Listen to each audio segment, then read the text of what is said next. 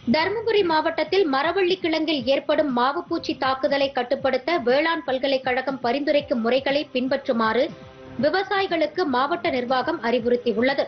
தருமபுரி மாவட்ட தோட்டக்கலைத்துறை அதிகாரிகள் விவசாயிகளின் மரவள்ளி சாகுபடி தோட்டங்களுக்கு நேரடியாக சென்று செயல் விளக்கங்களை செய்து காண்பிக்கின்றனர்.